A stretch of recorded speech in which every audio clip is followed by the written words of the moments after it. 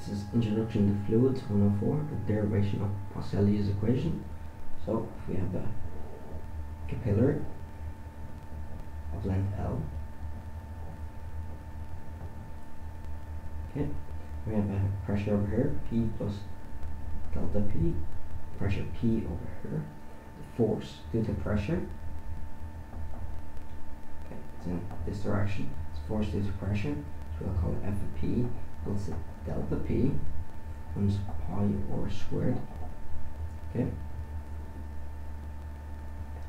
and the force due to viscosity, it's in that direction, velocity, uh, viscosity equals to minus mu times 2 pi or L.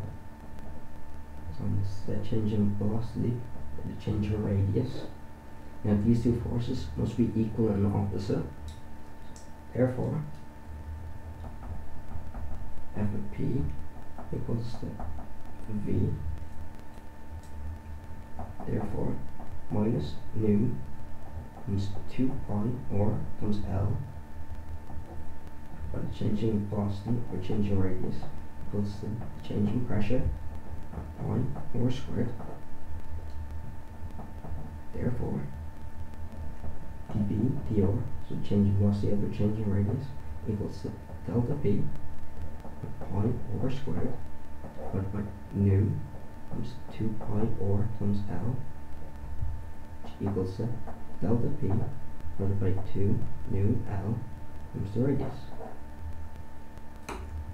So, therefore, change in velocity equals to delta P or 2 nu times L times or dr. So we're just going to integrate this equation. So integrate over here from from 0 to and integrate over this side from little r to big R.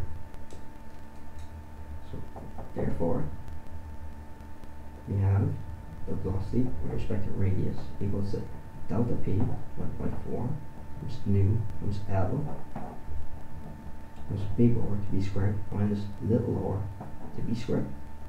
Okay, and if we plot this really fast, we have velocity on this axis, we have radius on this axis, but the radius goes from 0, big R has a parabolic in nature, where the maximum velocity is in the center of the capillary. Um, it's going very slowly towards the edges.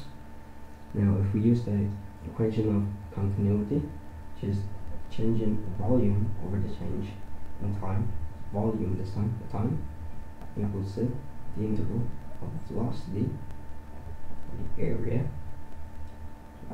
Therefore, um, change in volume or change in time equals to the integral the velocity respect to radius times the area, which in this case would be 2 pi times d r.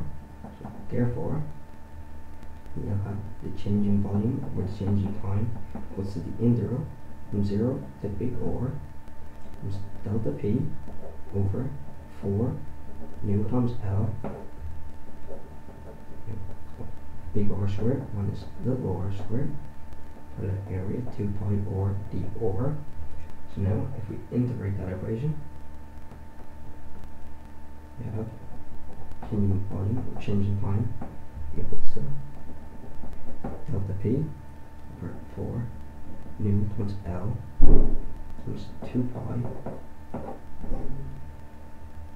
Times the integral from 0 to r r squared times little r minus little r to be cubed d4. So therefore, change in volume over the change in time equals to pi times delta p over 2 nu times L or big R to the power 4 over 2 minus big R power 4 over 4 should equal to pi times delta p for 2 nu L by 4 to the power of 4 over 4 therefore change in volume over the change in time equals pi plus delta p 4 to the power of 4 over 8 times nu times L.